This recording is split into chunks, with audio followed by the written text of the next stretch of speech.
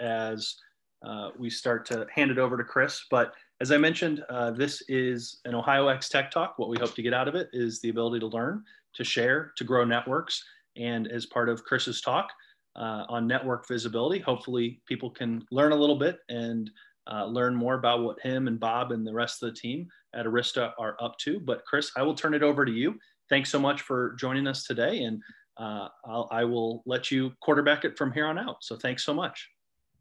Thanks, Chris. I appreciate it. And thanks for the invite um, to be part of your community. It's uh, it's wonderful seeing what OhioX has been up to and uh, connecting all of us and the disparate technologies that we all work with. So from an Arista standpoint, uh, I'm the uh, SE manager of this region, uh, cover a couple states uh, here, including Ohio, and I'm from Columbus. I live just on the east side of, of Columbus and have been here pretty much all my life with a brief stint in the, in the Navy. I've been with Arista for almost six years now, and it's been a crazy journey. Uh, gosh, there's so much going on in technology, data center networking, WAN backbone networking, the 5G rollouts. Uh, so I just today I thought I'd share some stories about uh, what are these data centers, what's this big data, what's all the speeds uh, that everybody's talking about uh, that rolled out in 2020, what can we expect in 2021 through 2023, and then with all this data flying around, how do we view it? How do we manage that data?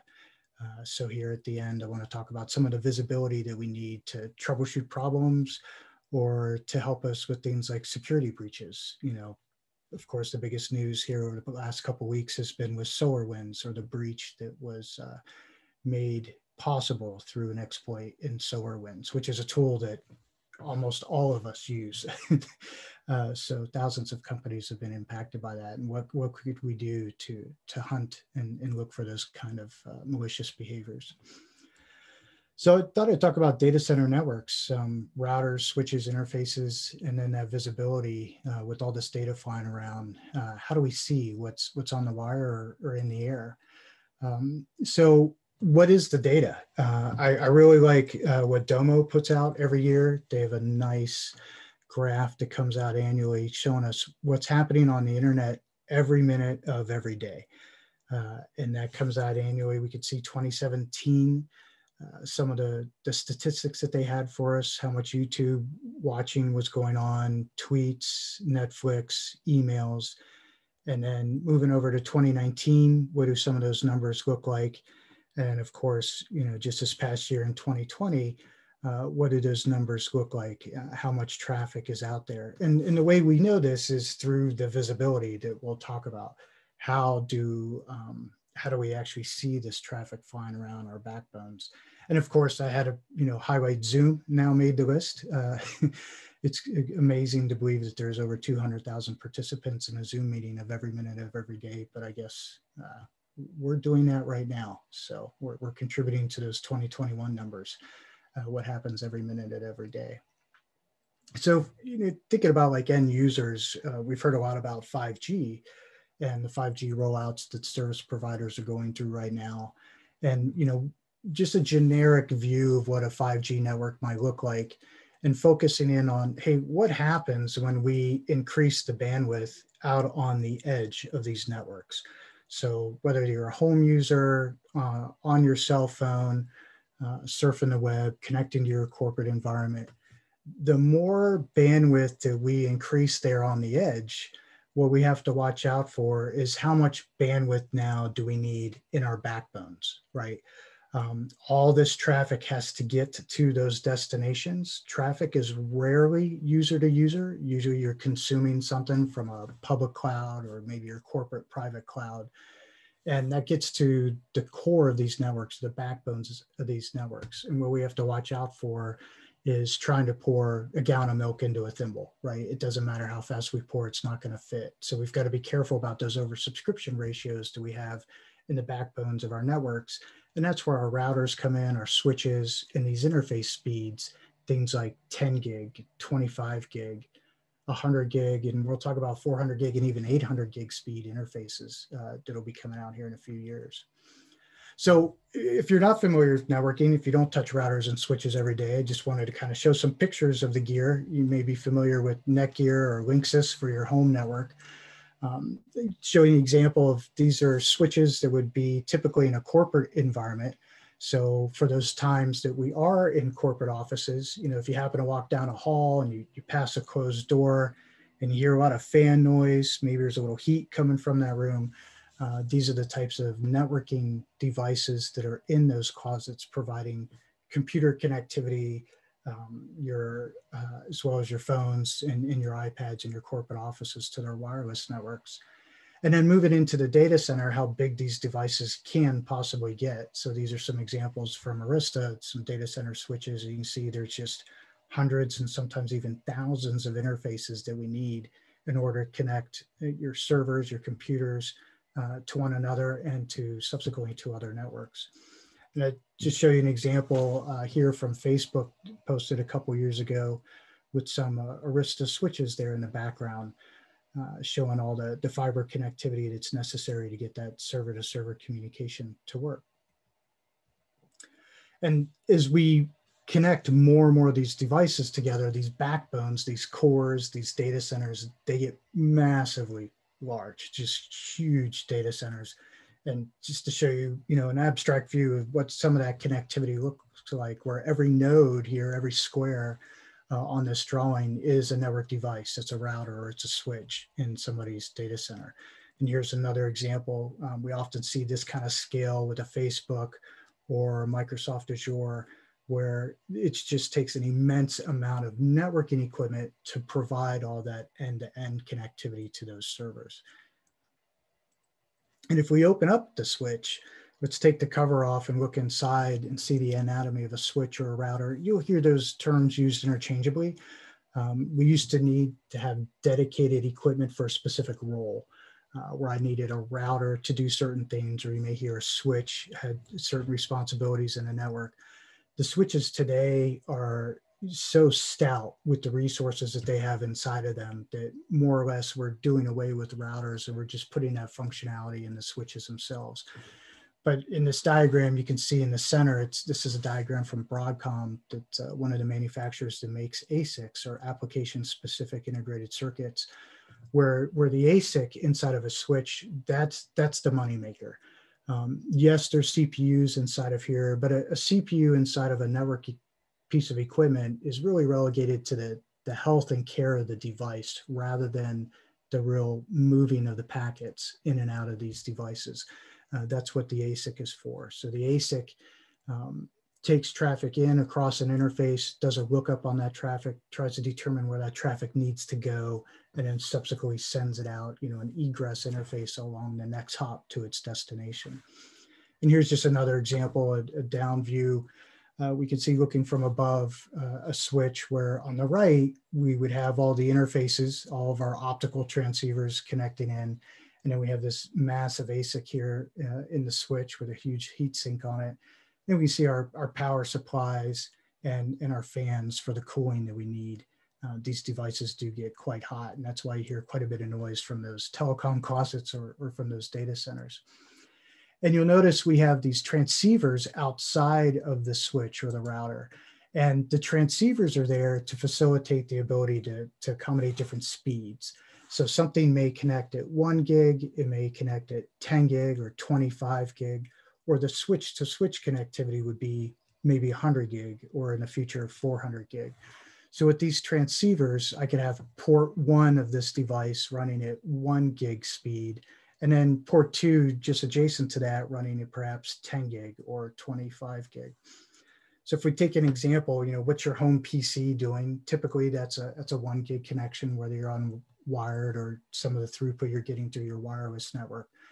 Whereas a server inside of a data center is going to typically connect at 10 gig or 25 gig. And if we think about the five gig that's rolling out, you know, what kind of speeds can we expect out there? And it's all relative to your um, distance to the network resources, any interference that's in the air. But roughly speaking, you're going to get somewhere between one and 10 gig uh, once all those five gig features roll out for us. And then when we talk about switch to switch or network device to network device, we have to think about, okay, we've got all these things at one gig and 10 gig and 25 gig. As that all adds up, we've got to watch that oversubscription ratio between switch to switch or router to router, one network device to another. And typically what we shoot for is a five to one over subscription ratio or perhaps a three to one over subscription ratio where we need to make sure the infrastructure can absorb all that traffic and get it to its final destination. So over the past couple years, we've been building that type of connectivity from network device to network device at 100 gig. It's the most common speed used today between devices.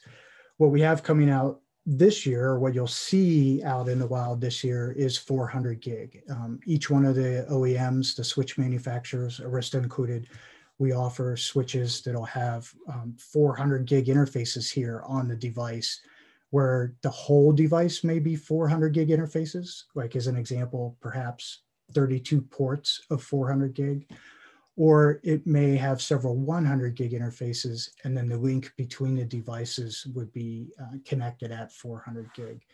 But we're not going to stop there. The 400 gig optics are rolling out now, and the highest speed that we've ratified is 800 gig.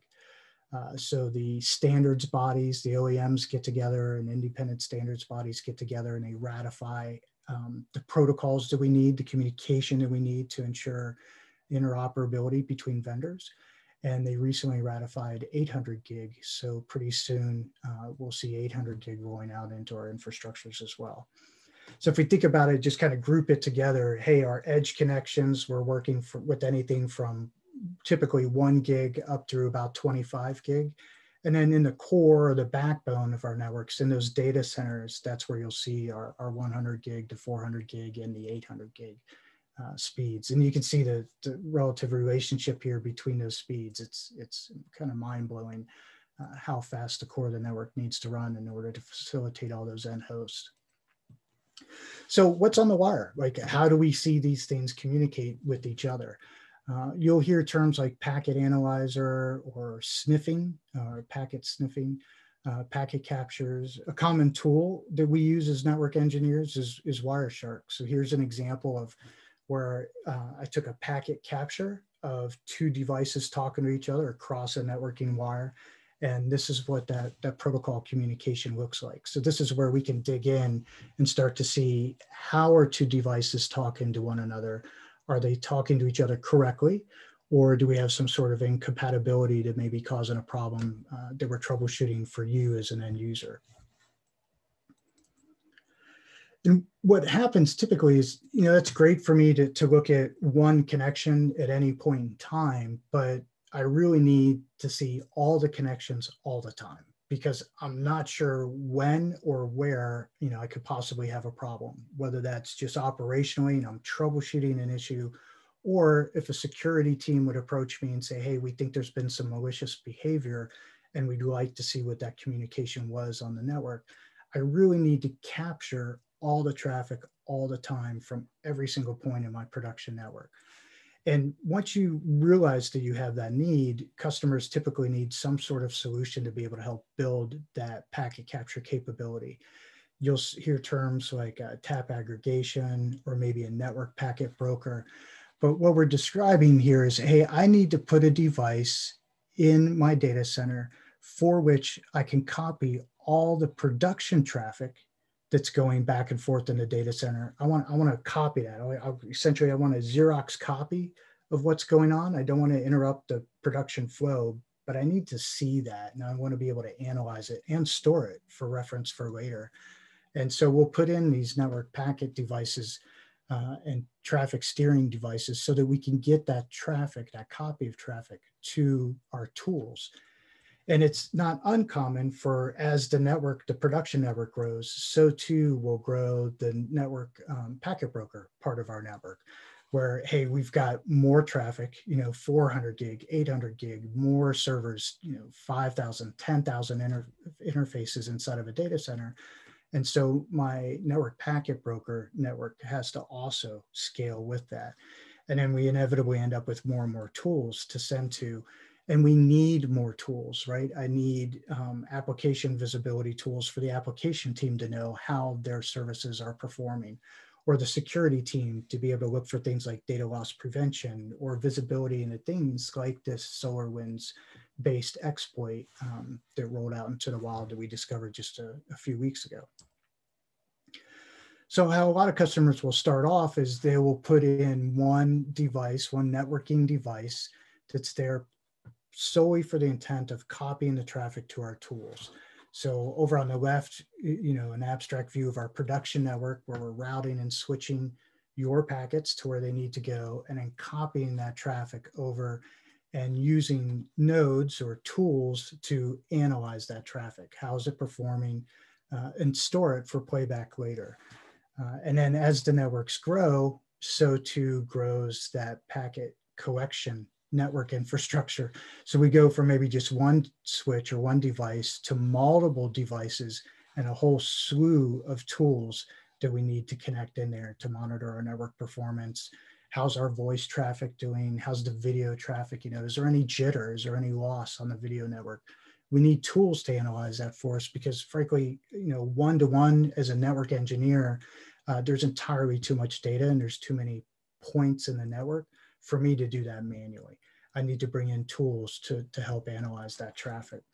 So as an example, I've mentioned SolarWinds. If you think about, hey, I've got SolarWinds installed in my infrastructure.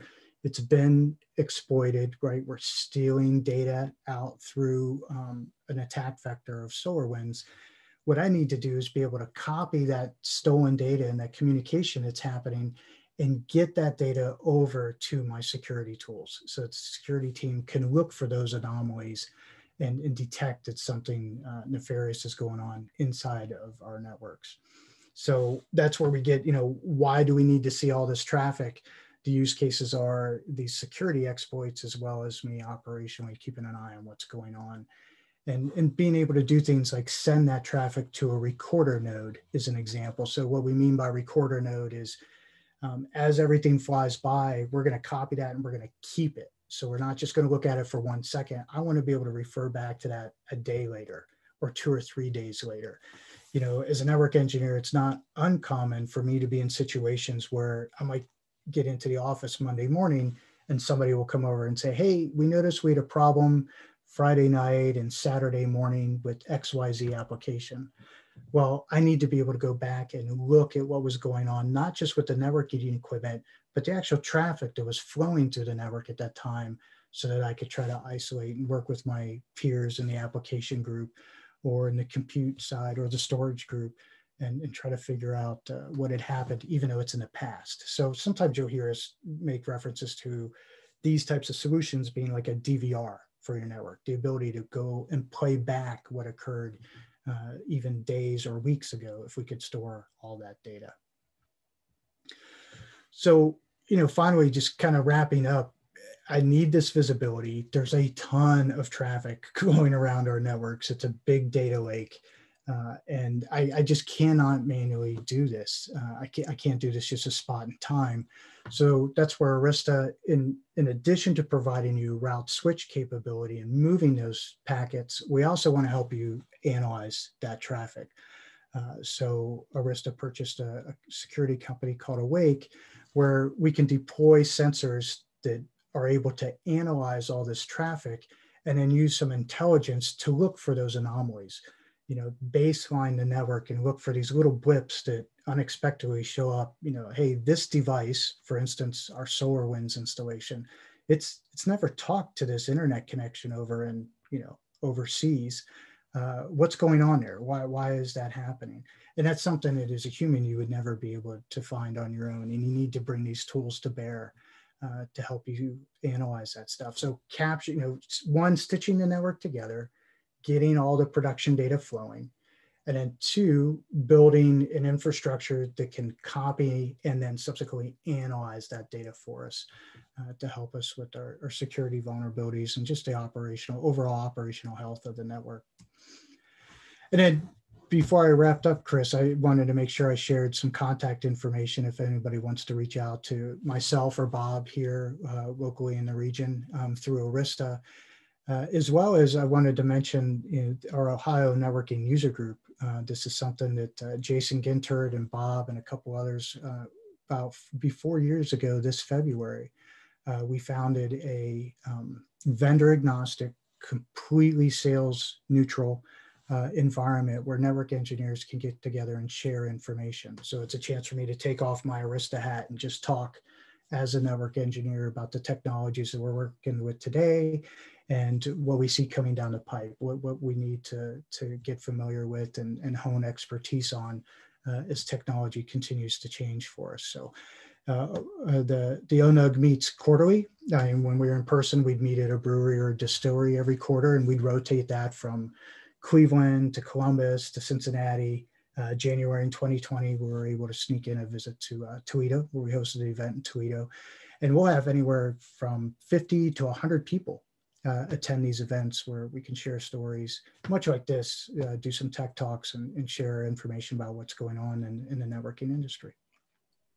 That's great. Well, thank you so much, Chris, and for sharing all this. And I'll, I'll start it with a question. Um, and before I do, um, if anyone else wants to, you know, think of questions and you can unmute yourselves after I've finished or put it in the chat. Um, this is really an opportunity to just have a conversation and nothing formal. Um, and then what I'll maybe also ask, also do is maybe Chris or Jason, if you're interested, um, to talk a little bit more about the Ohio Networking User Group of just maybe the kind of how it came to be, and if Jason, you want to add anything uh, specific to that. But to start, um, Chris, this is something that I like to ask as we have these types of events across a whole range of, of, of uh, areas. And so this is obviously, you know, very different than as we talk about sales or talk about like marketing within tech. Um, but this is a common question that I think is just kind of uh, an interesting one of if, if, you had to have people walk away from today with two things in mind. Um, and I like to say two because it's tough to pick one and sometimes three can get to a lot. But if there's two things from your talk today what would you like people to walk away with? Oh um, let's see. One i you know i try to keep it at a high level for anybody that's not deep into networking day in and day out uh, like i am it's just understanding um, how traffic gets from point a to point b you know just the kind of infrastructure it flows through uh, the, the devices are involved and, and the labor that goes into building those infrastructures and then subsequently managing them, like managing the, the data centers. Like here we have in, in Ohio, in, in Columbus, you know, we've got Google here now, Facebook's here, AWS has got data centers here. Um, managing these networks and, and helping get traffic from point A to point B, especially in 2020 when so many people had to change the nature they worked and where they worked that natively caused our traffic to flow different ways than it had before. So just kind of understanding the end-to-end flow. And then secondly, I'd say visibility. Um, we have to be mindful and watch this. It's important to, to invest the money into those resources, into the skill sets that can analyze that traffic and secure us, right? I know I, I'm a network person uh, to me, it's free love. I want everybody to be able to get anywhere.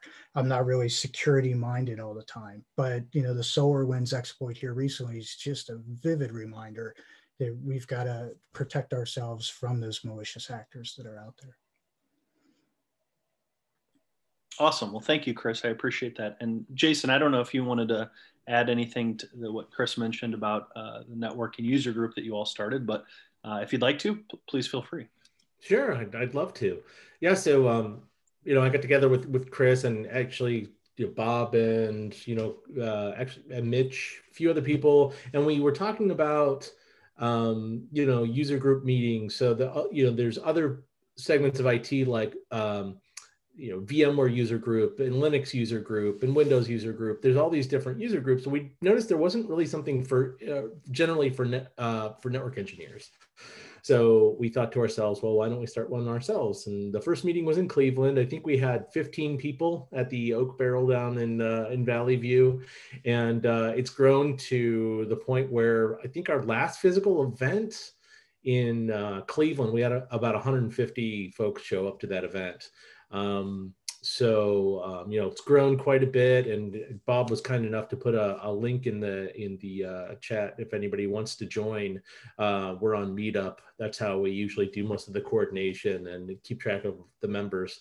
Um, but um, you know it's, it's organically grown pretty quickly. Um, we've eh, you know started out in just cleveland then we were doing cleveland and columbus for a little while and then we added cincinnati and then toledo just came on. Um, uh, actually our first meeting was in uh, just a year ago. um, in Toledo. Um, we're really hoping to get back to physical meetups again soon, but in the meantime, we have been doing some virtual ones. So we've had uh, two virtual events because, like uh, Chris said, we were doing uh, quarterly events uh, in person, and we're doing monthly uh, happy hours every every second Thursday of the month. So um, if you sign up for the the meetup group, you'll get communication on uh, when those are coming and the Zoom info to to join those for anyone to, who's interested. So um, so our next one is I think uh, a week from tomorrow. Actually, we will be the the next virtual uh, happy hour, and those are uh, there's no real format to those. We just come you know we come to those with um, some general topics to to discuss openly, uh, just kind of a pretty casual forum. Typically, people have a beer, you know, while they're on the Zoom, and it's it's you know pretty open, pretty casual. Uh, so the other events, the quarterly events that we're doing virtually now, there's there's typically a topic. You know, we'll do a presentation and we'll we'll do uh, maybe a panel discussion uh, about the networking industry.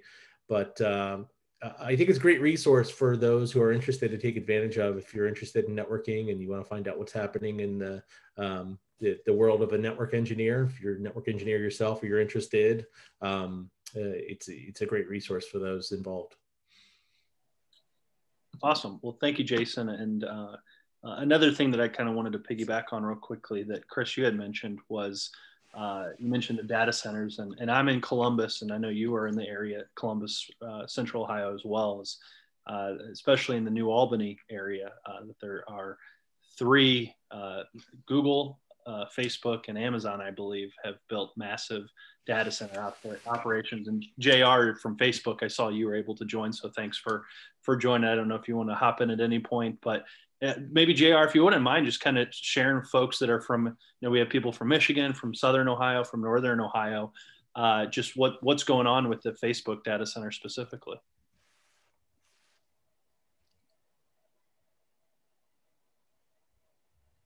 Uh, we can't quite hear you. I don't know if you're unmuted or if it's a mic issue. Still nothing. Sorry. That's okay. Um, well, if there's any other questions, happy to open it up now. Um, if there's any other thoughts or whatnot, I know we had a few other people that have trickled in. So like Naveed and Lori, I, I see you. Thanks for joining. But um, happy to happy to open it up to any other questions or comments that folks may have.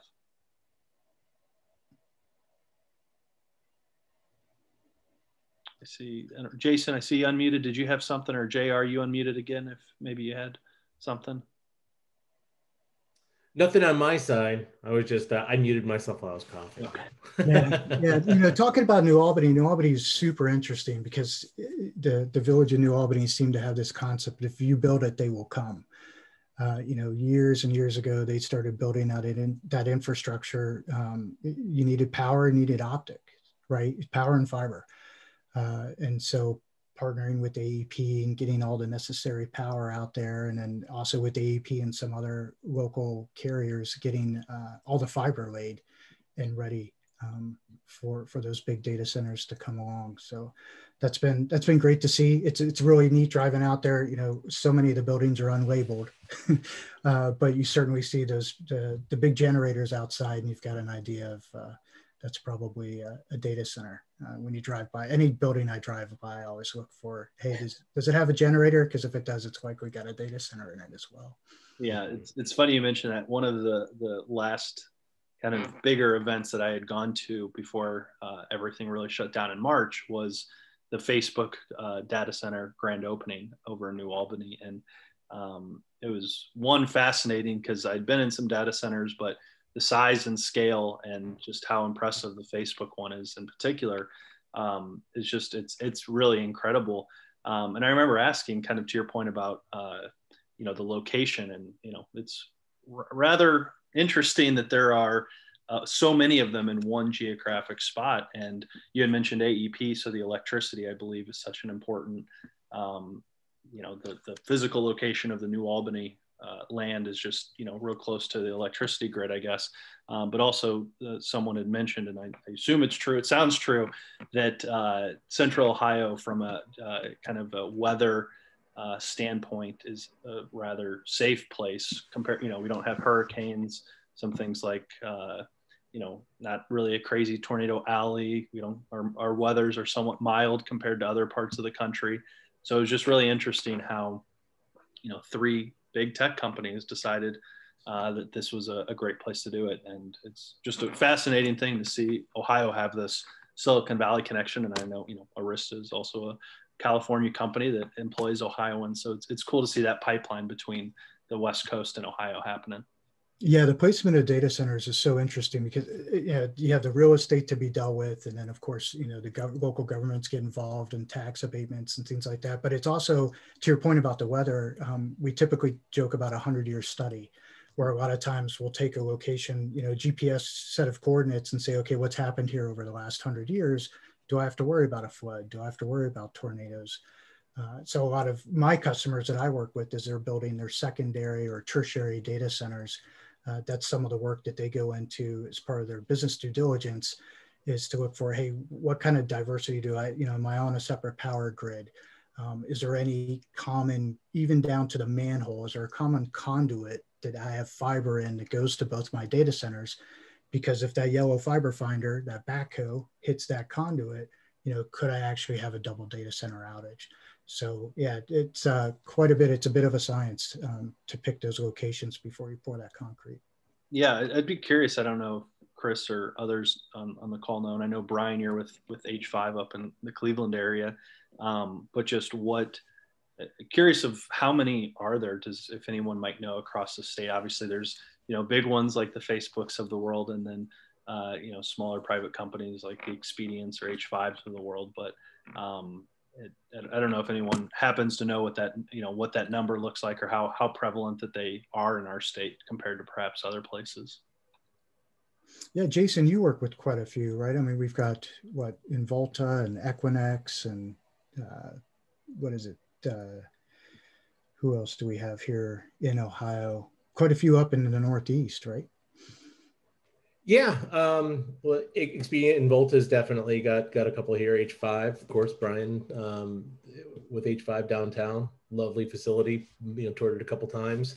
There, there are a number of them, and there's a lot of factors that go into you know selecting where to place a data center. You know, I think it's it's it's fascinating. You know, not only um, you know the like you mentioned, Chris, the um, you know the the risk of natural disasters, but also power costs, connectivity, and you know this region's actually kind of uh, landlocked from a, an access perspective. The really the only routes out of here from as far as fiber is back to Ashburn, Virginia, or Chicago. So this the, you know the, that's why it was you know ideal to build another data center here to service like this region because of that you know the, the, the Appalachian Mountains really kind of prevent uh, you know that fiber access without them them cutting through the mountains. So um, you know it's uh, it's actually a perfect place, a perfect spot that's in, you know right in between New York and Chicago uh, to service the, this entire region, and and it's become known as you know U.S. East two on all of those. U.S. East one being uh, you know Ashburn, Virginia. That's kind of the the U.S. East primary, but now uh, Columbus being U.S. East two, it's kind of the you know this this new point of gravity for everyone's data in this region. Um, it's pretty cool to see that that uh, that that has emerged right here in Ohio. Hmm, that is interesting, and and I know you know we're talking about data and and but uh, a statistic that JobsOhio, the state's kind of quasi public private economic development group, uh, that as we talk about customers and just our the geographic location of Ohio, whether it's you know East Coast, New York, other places, go to uh, a bit further west in Chicago. I think it's like 60% of the American economy is within like a day's drive. Um, and so, as you know, we think about Ohio and the competitiveness of our state and the geographic location that we find ourselves. Uh, it's interesting that you know whether it's physical goods or in this case, you know, d- digital uh, is, is, the case that that it's it's it's interesting. Hey, hey Chris, this is uh, Brian over at H5. Thanks. And Chris and Jason for um, highlighting us briefly. Uh, you guys have all mentioned very good points, and it's all selling points that you know not just H5 but other data centers in Northeast Ohio capitalize on. Is you did mention the fact that uh, Cleveland is actually a key node along very fiber routes from New York City to Chicago. Um, so there's a lot of good low latency routes that uh, enterprises do look to take advantage of. I know that we've tried to pursue, um, and in some cases successfully, East Coast companies. Uh, power rates are outrageous out on the East Coast. Um, there's just uh, it, there's a lot of incentive for customers to look at cheaper power. We do have some state ta- uh, sales tax incentives that aren't um, available out in New York, um, Philadelphia, uh, up, you know, up in the Boston area that we can extend here in Ohio. So from a competitive standpoint between power, uh, tax incentives, the ability to still have low latency connectivity routes, uh, data centers are very, very prominently being featured now um, on the East Coast. And just throughout the summer as COVID was going on and people were looking at, you know, secondary, tertiary data centers, uh, we saw a lot of, I saw a lot of my colleagues out west um, in California, in Phoenix, really featuring Cleveland as a great DR business continuity site. Um, so yeah, it's just it, it, we are a really great market, and um, it, from from H5 perspective, we do have 13 data centers uh, in the U.S. and uh, Cleveland is kind of our crown jewel, just in the fact that um, the interest that it's drawn not just locally here but across the country. Thank you, Brian. You're welcome. Yeah, and it's so nice to have so many of them in our backyard, right? I mean, if you're an enterprise and you've decided you're getting out of the data center business, let's just say, hey, we don't want to have an on-prem data center anymore. We don't want the facilities headache and the management and the overhead of that. Moving, you know, all of your equipment into someone else's facility, if it's going to be a physical equipment type thing, not just uh, virtual services like a public cloud. But it's so nice that they're within such a close drive, right? So inevitably I am going to need hands and eyes inside of those facilities. I'm going to need bodies to go in and rack mount servers or to run cabling and install infrastructure. And I, I know a lot of uh, enterprise customers as they step towards public cloud, you know, that interim step of still having a physical place that I can visit, whether that's just a rack in that location or a whole cage, uh, I can still go there. I can still see it. I can still use it and take advantage of those facilities and having quite a few here with the good, to Brian's point, the, the incredibly good latency that we have to those big peering points. Um, we talk about uh, Ashburn, you know, er, established very early on because of the old MAE East and MAE West philosophies of, of the internet. Uh, and then Chicago, where we have these incredibly large, what, what we would call telco meet me buildings, where hey if, if i'm there and everybody else is there then i have you know guaranteed low latency from one network to another as i transit from point a to point b well thanks chris any other uh, i have one final question but if anyone else wants to hop in with something before we wrap up in about 10 minutes uh, now would be a great time All right, so Chris, I'll, I'll end with a kind of a couple quick ones, and we do this across a bunch of our the programming that OhioX does, uh, and a couple of folks, uh, Jason and, and Bob, that have been on like podcasts and other things, and Naveed, I guess too. Uh, th- so three folks that have done podcasts with me. But um, uh, the first one is, and you, you, touched on a bit of this uh, in your talk, but um, I guess a little more pointedly, uh, you know, we're talking on January 6, 2021 years, certainly last year, brought a lot of stuff we didn't expect. But as you're looking forward and what we kind of call future casting, if you will, what's something that you're really looking forward to see of how your work uh, will evolve, or maybe something coming down the pike over the next year or two uh, that maybe you're, you're that will stand out to you and that you you're watching? Yeah, uh, for me, I, I mentioned I'm I'd like to label myself as a network person and, and say that as versus someone that's dedicated with security. Uh, but what I'm looking for is is the melding of that. So I mentioned like you know we used to have dedicated routers and dedicated switches. We had these discrete pieces of equipment, uh, and now we've been able to put those together because the the resources are so vast inside of one box. I can ask it to do more than one role. Uh, so what I'm watching for is what we're going to do with security in that same vein, where we have these dedicated firewalls that are separate from routers and switches.